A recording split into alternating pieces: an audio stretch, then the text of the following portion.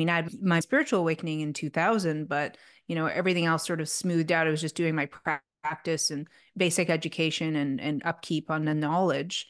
And then obviously formulating making the things i was doing a lot of creation. I was doing a lot of creative work and then writing the book in around those years as well. But it was interesting like something happened in those years that just accelerated the knowledge dump that had to happen.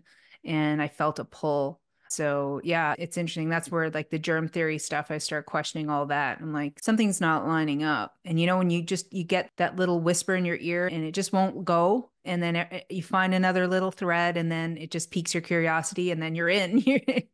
You, you dive right in especially when it's your topic. With everything i mean it's just been like waking up to an upside down world which is one lie after another.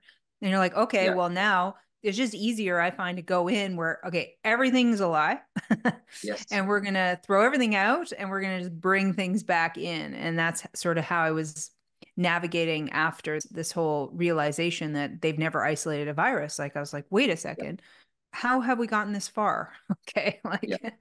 with this belief system and it's really quite magical like literally i think that's what they've used is black magic to convince us of all of this you get them young right? You indoctrinate the children.